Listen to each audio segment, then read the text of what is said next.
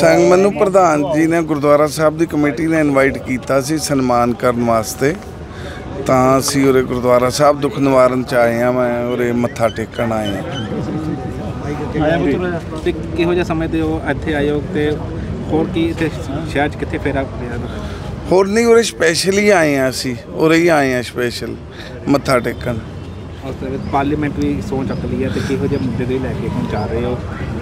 Parliament ਦੇ ਵਿੱਚ ਅਸੀਂ ਤਿੰਨ ਮੁੱਦੇ ਦਾ ਪਹਿਲਾਂ ਪ੍ਰਾਇੋਰਟੀ ਤੇ ਹੈ ਇੱਕ ਤਾਂ ਵੀ ਕਿਸਾਨਾਂ ਦੀਆਂ ਮੰਗਾਂ, ਦੂਜਾ ਬੰਦੀ ਸਿੰਘ, ਤੀਜਾ ਜਿਹੜੀ ਮਹਾਰਾਜ ਦੀ ਬੇਅਦਬੀ ਜਦੋਂ ਵੀ ਹੁੰਦੀ ਹੈ ਜਾਂ ਹੋਈ ਹੈ, ਉਹਦੇ ਵਿੱਚ ਜਿਹੜੀ ਸਜ਼ਾ ਹੈ 3 ਸਾਲ ਦੀ ਹੈ, ਸਜ਼ਾ ਘੱਟ ਹੈ, ਉਹ ਲਾਈਫ ਇੰਪ੍ਰਿਜ਼ਨਮੈਂਟ ਹੋਣੀ ਚਾਹੀਦੀ ਹੈ, ਘੱਟੋ ਘੱਟ ਉਮਰ ਕੈਦ। ਇੱਕ ਜਲੰਧਰ ਜਿਮਨੀ ਚੋਣ ਲੈ ਕੇ ਕੀ ਲੱਗ ਰਿਹਾ ਹੈ? ਕਿਉਂਕਿ ਵੱਖ-ਵੱਖ ਪਾਰਟੀਆਂ 'ਚ ਤੁਹਾਡਾ ਕਿੰਨੀ ਸਮਰਥਨ ਹੈ? ਨਹੀਂ ਸਾਡਾ ਕਿਸੇ ਕੋਲ ਨੂੰ ਸਮਰਥਨ ਨਹੀਂ ਹੈ ਜੀ ਜਿਮਨੀ ਚੋਣ ਦਾ। ਅਸੀਂ ਕਿਸੇ ਲਈ ਮਤਲਬ ਸਮਰਥਨ ਨਹੀਂ ਹੈ ਬਿਲਕੁਲ ਵੀ ਨਹੀਂ ਹੈ ਜੀ। ਜੀ। ਇੱਕ ਸ਼੍ਰੋਮਣੀ ਕਾ ਤੁਹਾਡਾ ਕੀ ਲੜਾ ਹੈ ਕਿ ਜੋ ਚੱਲਦਾ ਪਿਆ ਪਾਰਟੀ ਕਹਿੰਦੇ ਸੁਖਬੀਰ ਸਿੰਘ ਬਾਦਲ ਨੂੰ ਹਟਾਓ।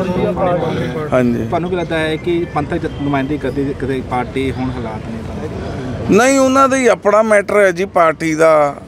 ਮਤਲਬ ਜਿਹੜੇ ਬੰਦੇ ਉਹ ਪਾਰਟੀ ਦੇ ਵਰਕਰ ਹੈ ਜਾਂ ਲੀਡਰ ਹੈ ਸੀਨੀਅਰ ਲੀਡਰ ਹੈ ਉਹ ਨਹੀਂ ਸਮਝਦੇ ਵੀ ਸੁਖਬੀਰ ਸਿੰਘ ਬਾਦਲ ਕੋਲੇ ਹੁਣ ਕਾਬਲੀਅਤ ਹੈ ਪਾਰਟੀ ਚਲਾਉਣ ਦੀ। ਉਹ ਫਿਰ ਅੱਡ ਹੋਣਾ ਚਾਹੁੰਦੇ ਆ ਉਹਨਾਂ ਦਾ ਮੈਟਰ ਹੈ ਜੀ ਆਪਣਾ। ਹੈ ਕਿ ਜੋ ਸੁਖਬੀਰ ਬਾਦਲ ਲਗਾਤਾਰ ਪਹਿਲਾਂ ਵਿਰੋਧ ਹੁੰਦਾ ਰਿਹਾ ਹੈ ਕੀ ਛੱਡਣਾ ਚਾਹੀਦਾ ਉਹਨਾਂ ਨੂੰ? ਦੇਖੋ ਜੀ ਜਦੋਂ ਇੰਨੇ ਵਰਕਰ ਇੰਨੀ ਪਾਰਟੀ ਕਹੇ ਬਈ ਬਹੁਤ ਦੇਰ ਤੋਂ ਇਹ ਅੱਜ ਦਾ ਹੀ ਨਹੀਂ ਹੈ ਕਈ ਸਾਲ ਹੋ ਗਏ ਇਹ ਗੱਲ ਚੱਲਦੀ ਨੂੰ। ਹੌਲੀ ਹੌਲੀ ਹੌਲੀ ਹੌਲੀ ਫਿਰ ਇਹ ਵੱਧਦੀ ਵੱਧਦੀ ਅੱਜ ਮਤਲਬ ਦੋ ਧੜਿਆਂ ਚ ਆਖੀ ਹੋਈ ਗਈ ਆ ਅਖੀਰ ਨੂੰ।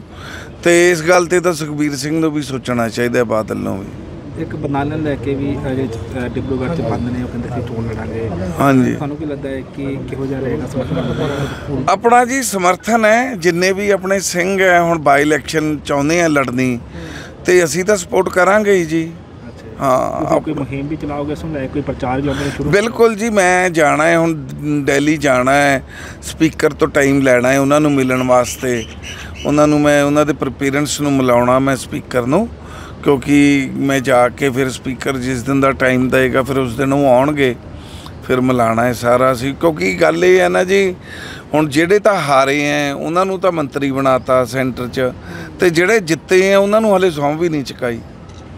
ਜੀ, ਜੀ। ਤੇ ਤੁਹਾਨੂੰ ਇਸ ਲੈ ਕੇ ਤੁਹਾਡੀ ਪੈਰਸ ਲੈ ਕੇ ਉਸ ਤੋਂ ਇਲਾਵਾ ਤੁਹਾਡਾ ਕੀ ਹੋਰ ਕਹਿਣਾ ਚਾਹੋਗੇ? ਸੂਬੇ ਜੋ ਕਾਨੂੰਨ ਵਿਵਸਥਾ ਸਥਿਤੀ ਬਣੀ ਹੈ ਨਸ਼ਾ ਲੈ ਕੇ ਤੁਸੀਂ ਗੱਲ ਕੀਤੀ ਸੀ ਡਰੱਗਸ ਲੈ ਕੇ ਤੁਹਾਡਾ ਬਹੁਤ ਮਾੜਾ ਹਾਲ ਹੈ ਜੀ ਸੂਬੇ 'ਚ ਤਾਂ ਨਸ਼ਿਆਂ ਦਾ। ਅਸੀਂ ਨਾ ਜਿਹੜੀ ਹੁਣ ਪਿੰਡ ਪੱਧਰੀ ਅਸੀਂ ਕਮੇਟੀਆਂ ਬਣਾਵਾਂਗੇ ਉਹੀ ਕਮੇਟੀ ਸਾਡੀ ਨਸ਼ਿਆਂ ਦੇ ਖਿਲਾਫ ਵੀ ਕੰਮ ਕਰੂ। ਜੀ ਜੀ ਤੇ ਉਸ ਤੋਂ ਇਲਾਵਾ ਕੀ ਕਹਿਣਾ ਚਾਹੋਗੇ ਕਿ ਹੋਰ ਵੀ ਸਰਕਾਰ ਵੱਲੋਂ ਵੀ ਲਗਾਤਾਰ ਦਾਅਵੇ ਕੀਤੇ ਜਾ ਰਹੇ ਨੇ ਜਿਵੇਂ ਭ੍ਰਿਸ਼ਟਾਚਾਰ ਦਾ ਕਾਫੀ ਵੱਡਾ ਮੁੱਦਾ ਹੈਗਾ ਸਰਕਾਰ ਦਾਅਵੇ ਤੁਹਾਨੂੰ ਕੀ ਲੱਗਦਾ ਹੈ ਕਰਪਸ਼ਨ ਜਦ ਤੱਕ ਵੀ ਪੁਲਿਸ ਵਾਲੇ ਪਿੱਛੇ ਬਦਲੀਆਂ ਕੀਤੀਆਂ ਸੀਗੀਆਂ ਸੀਐਮ ਸਾਹਿਬ ਦੇ ਵੱਡੇ ਪਹਿਲਾਂ ਜੀ ਪਹਿਲਾਂ ਵਾਲੀਆਂ ਸਰਕਾਰਾਂ 'ਚ ਚਲੋ ਜੇ ਪੈਸੇ ਦਿੰਦੇ ਸੀ ਕੰਮ ਤਾਂ ਹੁੰਦੇ ਸੀ ਹੁਣ ਤਾਂ ਪੈਸੇ ਵੀ ਲੋਕ ਦਈ ਜਾਂਦੇ ਆ ਕੰਮ ਫੇਰ ਨਹੀਂ ਹੁੰਦਾ।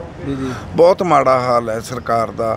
ਬਿਜ਼ਨਸਮੈਨ ਹੈ ਉਹ ਲੱਗ ਰੋ ਮਤਲਬ ਰੋਈ ਜਾਂਦੇ ਆ। ਉਹ ਕਹਿੰਦੇ ਬਾਈ ਜੀ ਵੀ ਇੰਨਾ ਮਾੜਾ ਹਾਲ ਸਾਡੇ ਬਿਜ਼ਨਸ ਦਾ ਕਦੇ ਨਹੀਂ ਹੋਇਆ ਜਿੰਨਾ ਭਗਵੰਤ ਮਾਨ ਦੀ ਸਰਕਾਰ 'ਚ ਹੋਇਆ ਹੈ। ਬਹੁਤ ਮਾੜੀ ਗੱਲ ਹੈ। ਐਕਚੁਅਲੀ ਨਾ ਕੇਜਰੀਵਾਲ ਨੂੰ ਵੀ ਦੇਖ ਕੇ ਕੋਈ ਰਿਸਪੌਂਸਿਬਲ ਬੰਦਾ ਅਪਾਇੰਟ ਕਰਨਾ ਚਾਹੀਦਾ ਸੀ ਐਜ਼ ਅ ਸੀਐਮ ਨਹੀਂ ਮੈਂ ਸਮਝਦਾ ਵੀ ਇਹ ਬੰਦਾ ਕਾਬਿਲ ਨਹੀਂ ਹੈ ਸੀਐਮ ਬਣਨ ਦੇ। ਤੇ ਕਰਜ਼ਾ ਵੀ ਲੈ ਰਿਹਾ ਕਿ 2000 ਕਰੋੜ ਦਾ ਕਿ ਆਰਡੀਐਫ ਦਾ ਪੈਸਾ ਨਹੀਂ ਹੈ। ਕਿਹੜਾ ਕੋਲੋਂ ਦੇਣੇ ਆ ਜੀ? ਕਰਜ਼ਾ ਹੈ ਬਾਅਦ ਚ ਬਾਹਰ ਚ ਚਲੇ ਜਾਊਗਾ ਮੁੜ ਕੇ ਸਰਕਾਰੀ ਖਾਤੇ ਚ ਪਏ ਰਹਿਣੇ ਆ। ਕਿਹੜਾ ਕਰਜ਼ਾ ਇਹਨੇ ਘਰੋਂ ਦੇਣਾ? ਹੈ? ਜਿੰਨਾ ਮਰਜ਼ੀ ਲੈ ਲਵੇ। ਜੀ ਜੀ। ਇੱਕ ਸ਼ੰਭੂ ਬਾਰਡਰ ਤੇ ਕਾਫੀ ਵਿਵਾਦ ਕਿਉਂਕਿ ਆਲੇ ਪਿੰਡ ਜਿਹੜੇ ਧਰਨਾ ਲੱਗਿਆ ਹੈ, ਆਲੇ ਦੇ ਪਿੰਡ ਵਾਲੇ ਕਹਿੰਦੇ ਵਿਰੋਧ ਕਰ ਰਹੇ ਨੇ। ਹੁਣ ਤੁਹਾਨੂੰ ਕੀ ਲੱਗਦਾ ਹੈਗਾ ਕਿ ਮ- ਸਮੱਸਿਆ ਦਾ ਹੱਲ ਕਦ ਤੱਕ ਹੋ ਸਕਦਾ ਹੈ ਕੋਈ? ਹੋਣਾ ਚਾਹੀਦਾ ਹੈ ਜੀ ਇਹ ਸਰਕਾਰ ਨੂੰ ਹੀ ਮੰਗਾਂ ਮੰਨਣੀਆਂ ਚਾਹੀਦੀਆਂ ਹੈ। ਬਈ ਇਹਨਾਂ ਦਾ ਵੀ ਆਪਣਾ ਐਮਐਸਪੀ ਦਾ ਜਿਹੜਾ ਬਿੱਲ ਪਾਸ ਕਰਕੇ ਲਾਗੂ ਕਰਨ ਐਮਐਸਪੀ ਦੇ ਬਿੱਲ ਆਵੇ ਐਮਐਸਪੀ ਤੇ। ਸਰਕਾਰ ਨੂੰ ਸੈਂਟਰ ਗਵਰਨਮੈਂਟ ਨੂੰ ਹੀ ਚਾਹੀਦਾ ਹੈ ਜੀ। ਤੁਸੀਂ ਹੁਣ ਐਮਪੀ ਹੋ ਤੁਸੀਂ ਸੈਂਟਰ ਦੇ ਵਿੱਚ ਜਾਂਦੇ ਹੋ ਤੁਸੀਂ ਇਹਨਾਂ ਦੀ ਮੰਗਾਂ ਰੱਖੋਗੇ ਜਾ ਕੇ? ਬਿਲਕੁਲ ਬਿਲਕੁਲ ਜੀ ਬਿਲਕੁਲ। ਅਸੀਂ ਹੁਣ ਵੀ ਮੇਰੇ ਨਾਲ ਗੱਲ ਹੋਈ ਸੀ ਸੈਂਟਰ ਦੇ ਵਿੱਚ ਤੇ ਮੈਂ ਆਹੀ ਰੱਖਿਆ ਹੈ ਮੰਗ ਹੀ ਰੱਖੀ ਹੈ। ਬਈ ਇਹਨਾਂ ਨੂੰ ਐਮਐਸਪੀ ਦਿੱਤੀ ਜਾਵੇ ਜੀ। ਆਪਣਾ ਘਰ-ਬਾਰ ਛੱਡ ਕੇ ਬਾਹਰ ਸੜਕਾਂ ਤੇ ਬਹਿਣਾ ਵੀ ਕੋਈ ਸੌਖਾ ਨਹੀਂ ਹੁੰਦਾ।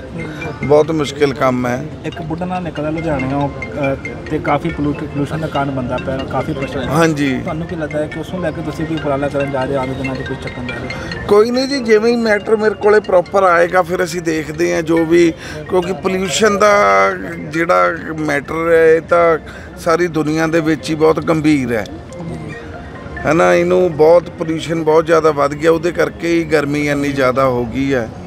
ਇਹਦਾ ਜਿਵੇਂ ਮੈਟਰ ਸਾਡੇ ਕੋਲੇ ਆਏਗਾ ਤੇ ਅਸੀਂ ਇਹਨੂੰ ਕੋਈ ਨਹੀਂ ਦੇਖਾਂਗੇ। ਠੀਕ ਹੈ।